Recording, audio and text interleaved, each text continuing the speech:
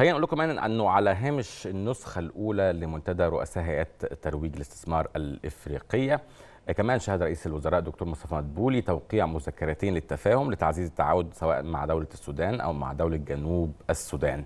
وكمان حول الفرص الاستثمارية وتسهيل الاتصال في مجال الاستثمار ما بين البلدين. وكمان عقد الدكتور مدبولي لقاء مع الدكتور هادي محمد إبراهيم وزير الاستثمار والتعاون الدولي السوداني.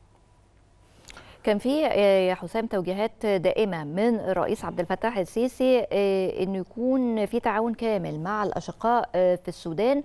ورئيس الوزراء التقى يعني بهذه المناسبة وزير الاستثمار في جنوب السودان وقال إنه السيد الرئيس عبد الفتاح السيسي بيتابع بصورة كبيرة تطور العلاقات مع جنوب السودان وبيواجه دايما ببذل كل الجهود لتطوير العلاقات وتلبية مطالب الأشقاء في جنوب السودان.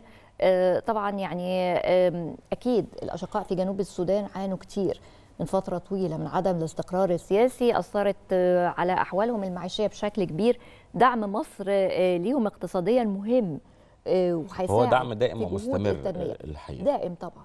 وخلينا نقول كمان إنه من من اللافت طبعا في المنتدى منتدى رؤساء هيئات الاستثمار الإفريقية ويمكن زي ما طرح الدكتور مصطفى مدبولي كان مهم جدا إنه يتم طرح آفاق الاقتصاد بعد كمان أزمة كورونا خاصة طبعا إنه ما زال في تحديات بتواجه القارة الإفريقية خاصة لما تكون القارة بتعتمد زي ما قال الدكتور مصطفى مدبولي على فكرة السلع الأولية في حين أزمات زي أزمات كورونا بتتوقف حركة التجارة الدولية أو بتتعرق لبعض خلينا نقول المخاطر أو التحديات وبالتالي كان هناك محاولة لفكرة التكامل والنمو إنه يكون في قدر كبير من عدم الاعتماد فقط على السلع الدولية يكون في صناعات أساسية جوه القارة تقلل على طول من الأزمات الاقتصادية اللي بتتعرض ليها الدول الإفريقية إذا ما حدث حدث دولي قد يؤثر مرة أخرى الحقيقة إنه آفة أفريقيا فكرة التصنيع يعني م. المواد الخام موجودة في أفريقيا. م. فكرة تصديرها ورجوعها لسلع أكيد بتكلف المواطن الأفريقي.